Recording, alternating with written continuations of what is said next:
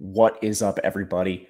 Matt Gajewski here, back again with the Awesemo channel, talking preseason DFS. And we have a huge slate of action today, talking Saturday games. We will give you a position by position look, talking about the each player at each of those spots. But before we get started, make sure to hit the thumbs up button, subscribe to the channel, and hit the notification bell so you know when this and all other content goes live, including strategy shows, including live before locks, all for the preseason and for those of you looking for a little more, head over to Awesemo. Check out our projections, depth charts, preseason notes. We have everything you need to dominate these contests. But let's get into it. We are going to talk about the top players at each position, give a little bit of context as to why. And it starts out today with the Baltimore Ravens looking at Tyler Huntley. Now, Lamar Jackson, he may make his debut. We don't know. But either way, he's not expected to play a ton. And then Baltimore unfortunately dealt with some injuries. They lost Trace McSorley, their presumed backup for the preseason. Now, they did bring in Kenji Bahar as a third string quarterback, but we're not expecting a ton of playing time from Bahar, leaving Tyler Huntley to play most of the snaps. And he projects for six drives pretty comfortably, about 113 passing yards, just over half a score. And Tyler Huntley has dual threat ability, was a very strong rusher in his time with Utah.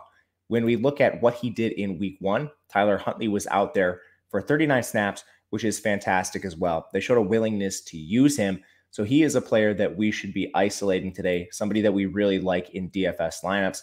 Other quarterbacks you may potentially look at Sam Ehlinger for Indianapolis. He played a half and he'll be competing with Jacob Eason, has good rushing ability there as well if you're looking for a pivot but let's head over to the running back position. And this is a darling from last week's preseason DFS. It's AJ Rose of the Minnesota Vikings. This is still an attractive situation to target because of injuries in the backfield. Kene Nwangwu is still out with a knee injury. He was drafted by this team. Dalvin Cook and Alexander Mattison did not play in week one. Now, their coach did say their starters are expected to play some in quotations. That still doesn't mean probably more than a series or two for players like Cook and Alexander Mattison. Ameer Abdullah only played 18 snaps, and that left 48 snaps for AJ Rose. He projects for just over 78 rushing yards, about a half a touchdown.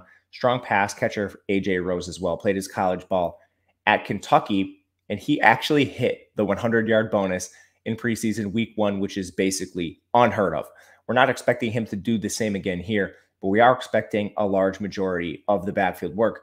Again, only Dalvin Cook, Mattison, and Abdullah are in the backfield to compete with him. All their roster spots are safe. So at the running back position, Rose makes a lot of sense. A couple other names to monitor Ty'Son Williams from Baltimore, Rico Dowdle from Dallas, a few other names just to look at. At the wide receiver position, we have to talk about Los Angeles. Sean McVay does not play his starters in the preseason. Looking at week one, he did not play. Well, not only did he not play Stafford and John Wolford, but at receiver, he didn't play Robert Woods, Cooper Kupp, DeSean Jackson, or Van Jefferson. Since then, Trishton Jackson and Bennett Skowronek have gotten injured. That maybe means we have five receivers healthy for Los Angeles.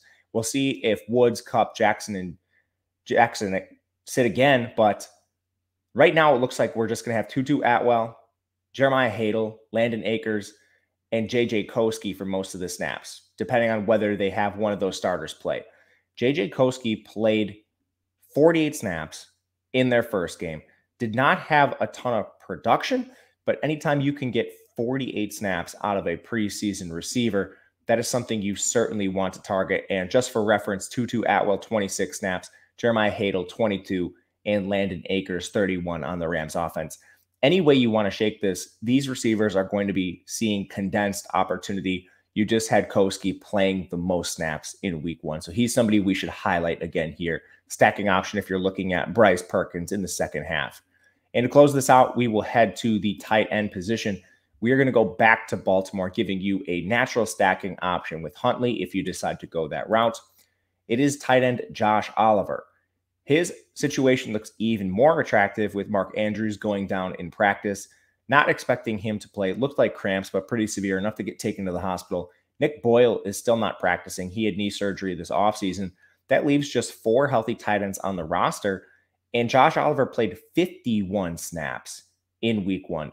Absolutely mind blowing production. He's projected for four drives here, so we're not expecting the same amount of production. We probably see a little more Ben Mason, Eric Tomlinson, and Tony Poljan, but still a ton of opportunity for Josh Oliver. Again, projected four drives, just over a catch. Tight end position is very volatile. So anytime you can lock in somebody that is seeing upwards of 50 snaps, that is going to be a very strong target. Also, some condensed opportunity in Tampa Bay, condensed opportunity in Los Angeles and Minnesota if you want to take pivots on the tight end position away from Josh Oliver. But that'll do it for today. I'm Matt Gajewski on Twitter at Matt underscore Gajewski. Hit the thumbs up button, subscribe, leave a comment. Let me know who your favorite preseason play is, and check over the check out the preseason package at Awesemo. Otherwise, good luck, everybody. We will see you again next time.